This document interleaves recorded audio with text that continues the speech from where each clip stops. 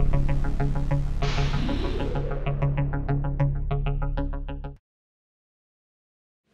right, well, Coach, we wanted to get a introductory interview, get a full, you know, comprehensive, you know, just what you're about. Uh, back in the hiring process, it was clear that the job meant a lot to you. You would throw, according to Jeff Compher, you go through a blizzard just to get to the interview. Yeah. What What was it about it that made it so important? Well, you know, I've been wanting to be a head coach for a long time. This is my 16th year, I just felt it was an opportunity to walk into a program that already had a lot of the same standards that I had for the place I was at. Uh, I wanted to be on a winning team that wanted to be champions. I wanted to be in a place where I knew how to recruit that geography.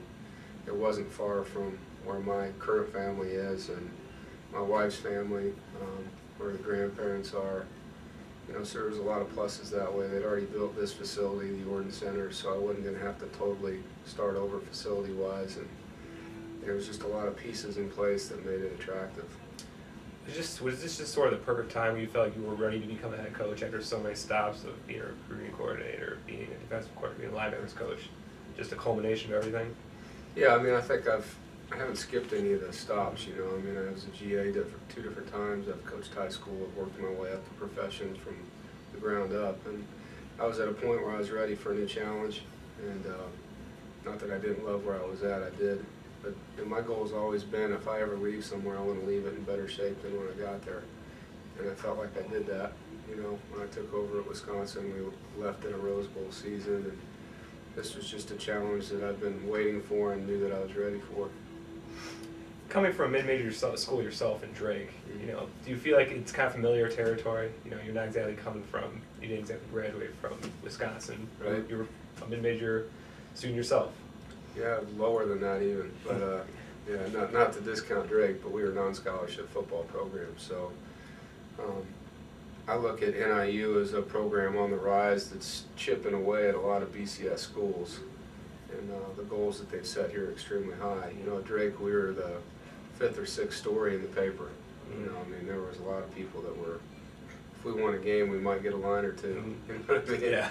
So, I mean, there's a lot different expectations here than there were at that place. Coming, you know, just a not even a year removed from the Rose Bowl, how much does it help you as a coach knowing what it takes to get to that big game?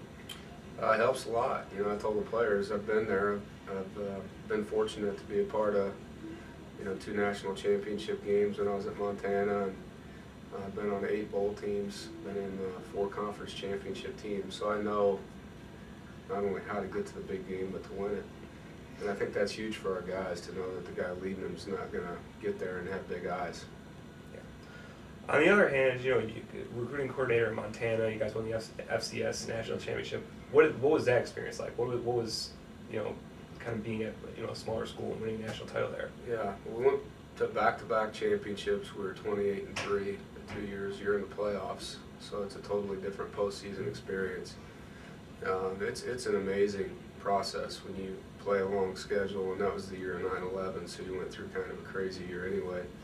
But uh, you know, to go through the playoffs, you play 15 to 16 games, and then to win it, it it's quite an experience for your guys. And you know, at that one moment when the clock runs out, you know that you're better than everybody at your level. It's a pretty exciting, exhilarating moment as far as recruiting there, how did how did how has your philosophy about recruiting changed, and how how is it how did it start, and how is it kind of at Montana, or you know, just as far as when you first started recruiting, and then you know, as have you gone down the line.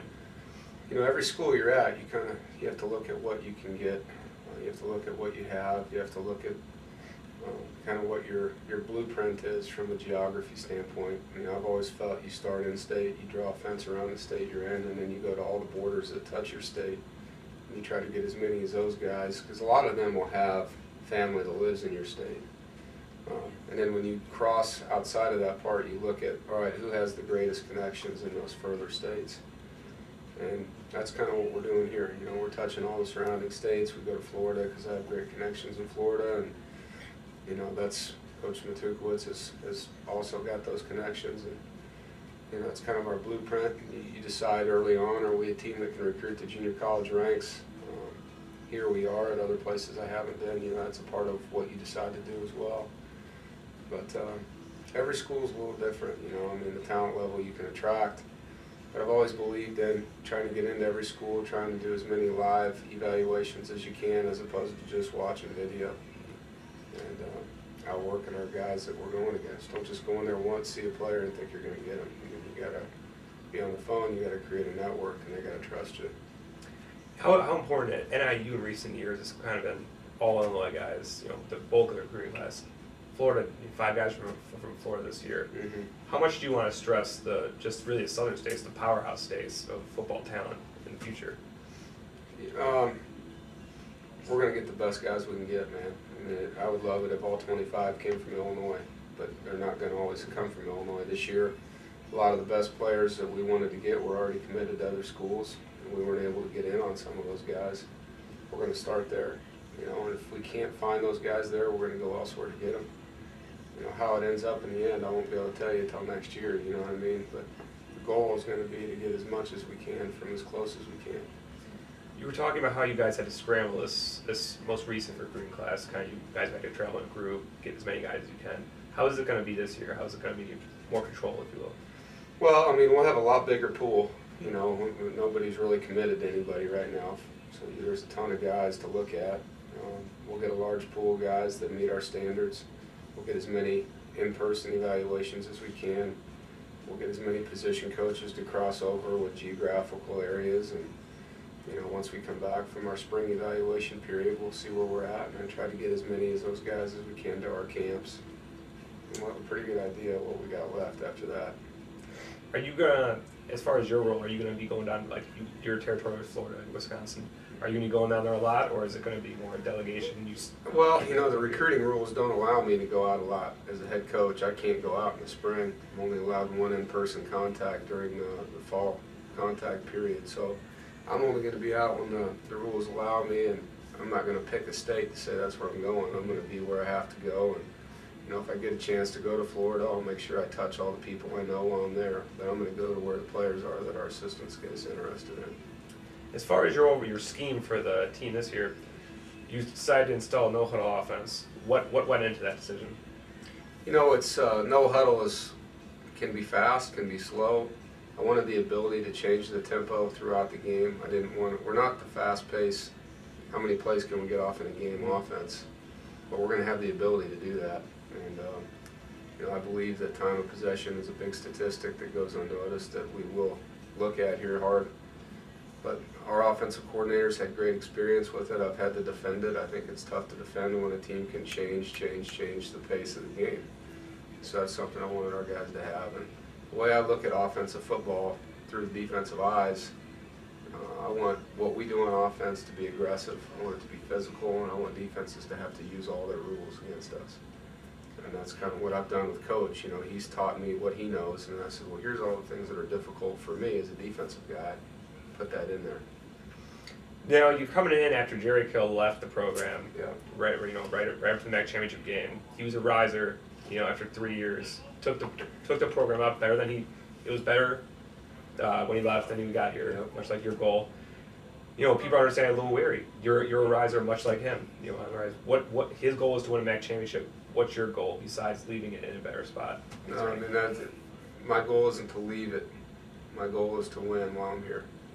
And I'm gonna be here as long as they let me be here, you know? And that's how I've always taken everything in this profession. And if you worry about the job you have and you make it the best job that you can make it, someday somebody may offer you something. Someday they may not. I don't worry about that, you know? I wanna win the conference championship every year I'm here, and that's my goal.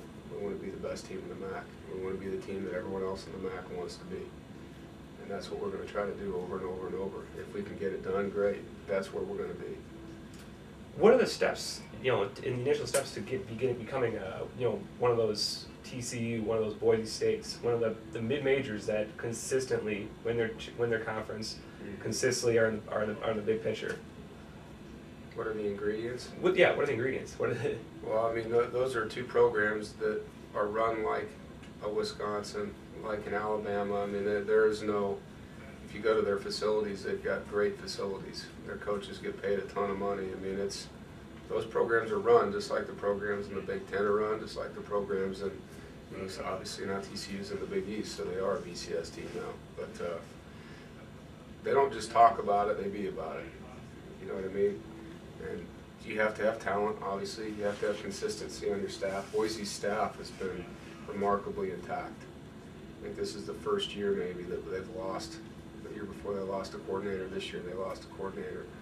But before that, Coach Petersen had been able to keep his assistants when other schools tried to come hire him away Mhm. because they gave him enough money to do that.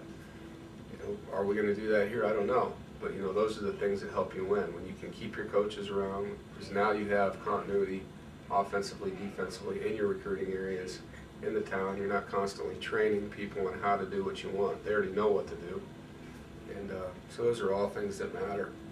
And you know, th- this school hasn't had 10 win, 10 win, 10 win, 10 win seasons. They've had, you know, kind of steady and then bam, they hit a big spike and then they go back. And last year they went to 11 wins. You know, our goal is to maintain a high level of success.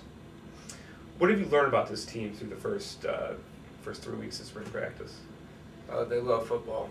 These guys love going to practice, and we ask them to do some tough things here. You know, we, we get out early in the morning, and we don't have an indoor, so we're in cold weather, and the guys don't balk. They don't, they don't complain. They go to work. They enjoy competing against each other. Uh, they're a very tight knit bunch of guys that care about each other, and you know, the things that have happened here adversity-wise have only made that even tighter. But uh, it's never a situation where you have to ask them to play hard. You know, we're coaching a lot of things, but the effort isn't one of them. And that's one thing I really enjoy about our players. With Devon going down, it, it, I guess there was a lot of energy on Saturday, the first practice back, and then the guys were clearly using the rally call, using one of their fallen teammates. Mhm. How, how have you liked their response to the adversity? Well, I think it was really a lesson in uh, perspective for our team and our coaches. You know, I mean, I think you get so hung up with catching the football, blocking a guy, tackling a person, getting after a kid for not putting his hat in the right place or his hands in the right place. And then all of a sudden, one of your best guys is laying in a bed fighting for his life, and he can't do any of those things that you think are so important. He needs to live.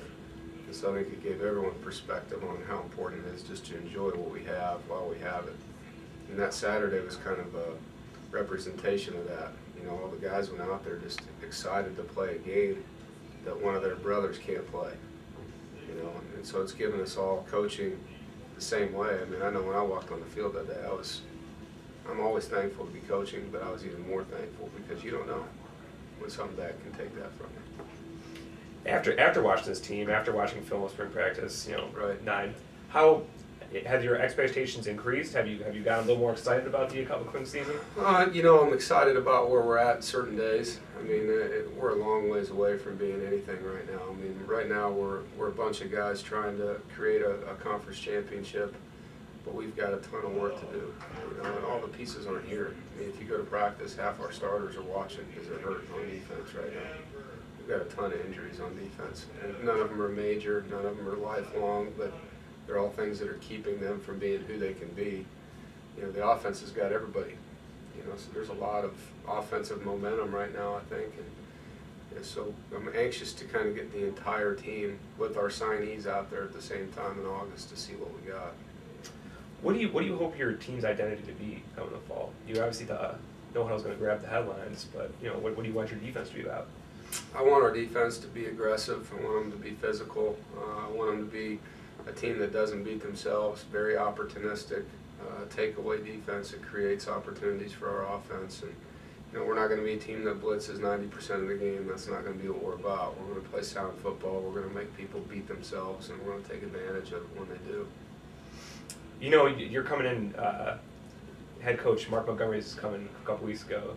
Two guys coming from Big Ten programs, Right. a lot of with a lot of uh, hype around you guys. What have your impressions been about been about him?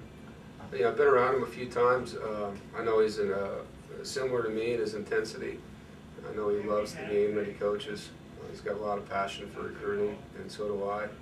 You know, I haven't got to spend a lot of time with him yet socially, but uh, our interactions have been good.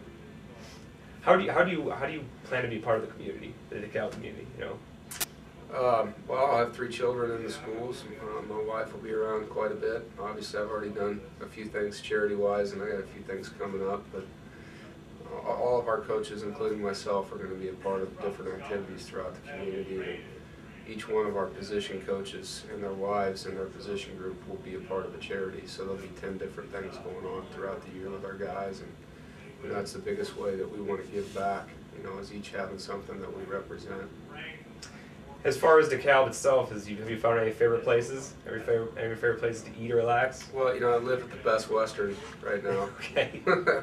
and so I, I walk to where I eat usually at night, and you know I can obviously go down to Lucalo's or to the Chinese place next door, the, the Happy Wok, I think Yeah, it is, and I go over to Fatty's or whatever. But there's a lot of great restaurants, um, the Villa Verona and you know the Taxco and, and, and PJ's out, and you know that's all I do is eat out at night. So you Mhm. know I've pretty much hit every restaurant here in town.